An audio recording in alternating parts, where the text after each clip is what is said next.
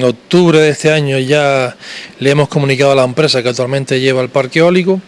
que en marzo del 2011 se le acaba la concesión, o sea, el contrato que en su momento se firmó, que era de 20 años,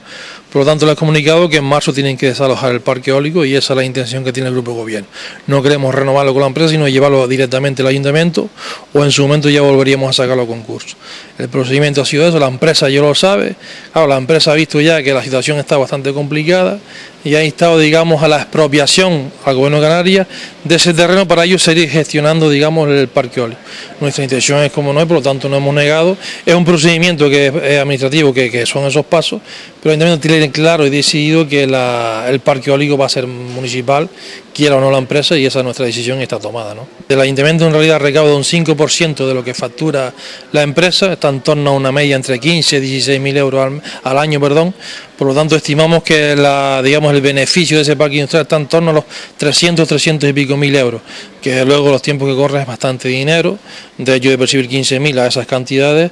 pues es un reto bastante importante y de luego incluso daría para pagar las propias facturas que tiene el ayuntamiento, en este caso con UNELCO,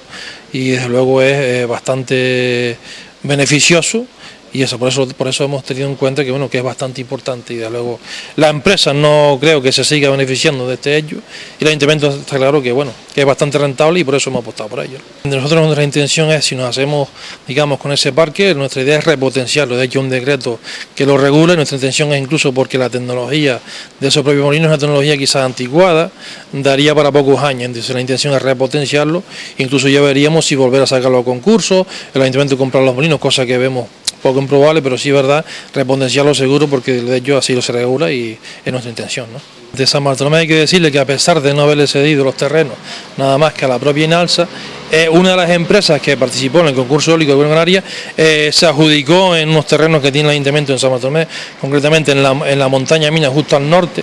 eh, y de hecho la empresa en estos momentos está en los trámites, muy bien ha solicitado calificación territorial al Cabildo, los diferentes permisos de gobierno canario y está en esa fase, ¿no? Yo creo que en cuestión de quizás de 6 o 8 meses ya creo que la empresa tenga, digamos, finalizado todo el expediente y este parque podrá ser una realidad posiblemente 2011-2002. Pero es cierto que San Matromé ha sido adjudicatario de, de, de, en este caso, un parque de 9,1 megavatios, que también de luego va a ser una fuente muy importante de ingresos y hay que destacar que sí es cierto que el Ayuntamiento haya negociado muy fuerte, porque en el decreto que regulaba estas concesiones, la empresa podía dar el porcentaje, que era el 9%, a cualquier ayuntamiento de Canarias. En este caso, la empresa, el 9% se lo daba a Santa Lucía, a un municipio de Las Palmas. Nosotros creíamos que eso no era coherente, a pesar de que la empresa lo puede hacer, y hemos negociado que ese 9% va a ser de caso, va a pasar al ayuntamiento de Santander, el canon se va a pagar. Aparte, incluso un canon de cesión de suelo. Por lo tanto, también es una negociación muy importante, va a ser un parque eólico muy rentable, muy beneficioso, y esperemos, yo creo que ojalá sea cuanto antes posible, tanto por el bien del ayuntamiento como de las propias empresas que en su momento se presentaron y, obtuvieron los, permisos correspondientes. ¿no? Pues ese parque es muchísimo más rentable porque estamos hablando en torno sobre 300, 400 mil euros al, año porque ese parque es de 9,1 megavatios, el porcentaje del cano es del, sobre el 12%, por lo tanto estamos estimando según los propios datos que establece la propia empresa y por tablas que hay por horas de viento y kilovatios, sobre en torno a los 300, 300 y pico mil euros, que de luego también es bastante dinero de los tiempos, los tiempos que corremos. ¿no?